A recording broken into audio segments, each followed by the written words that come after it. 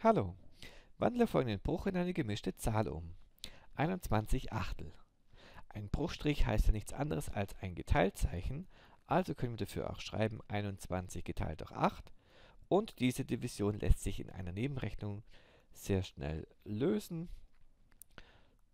Da stellt sich die Frage, wie oft passt die 8 in die 21 rein. Und dann wissen wir, es ist zweimal. Mit einem Rest 5.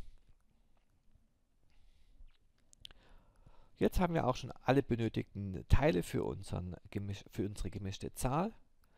Nämlich diese zwei hier, also wie oft passt die Zahl da insgesamt rein, wird unsere neue natürliche Zahl, die vor dem Bruchteil steht. Dann kommt ein Bruchstrich, der Nenner bleibt wieder gleich, kriegen wir also aus dem ursprünglichen Bruch. Und als Zähler nehmen wir den Rest, der bei der Division auftrat. Und dann folgt daraus 21 Achtel sind 2 5 Achtel. Und das funktioniert mit jedem Bruch.